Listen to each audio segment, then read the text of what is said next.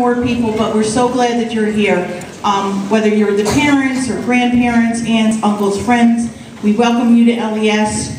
If you haven't felt the joy in your heart for the holiday season, today will do the trick because we have a beautiful concert for you. Before we begin, I do want to just ask that you stay out of the aisle because Mr. Irvin is taping the show and you'll be able to see it on the school um, TV channel.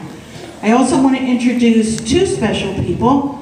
First person is Joanne, Mrs. Joanne Grover. She's part of the school board member. I thank her for coming. She's also a former LES teacher, so it's nice to welcome her back. The second special person we are so proud of is Jason Bembry. He's a sophomore. for Jason because he went to LES and he's now a sophomore at the high school, so we thank him for playing the piano.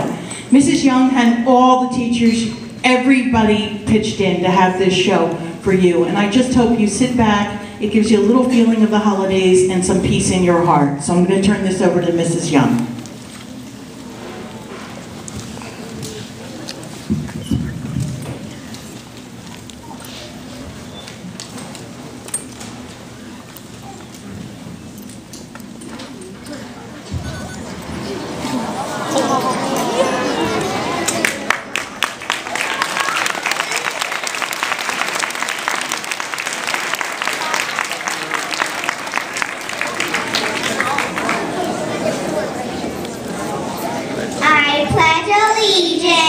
hear the sound.